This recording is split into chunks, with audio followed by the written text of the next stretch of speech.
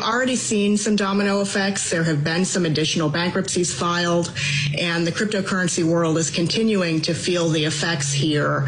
I wouldn't be surprised if there are additional failures in the space or additional bankruptcies filed.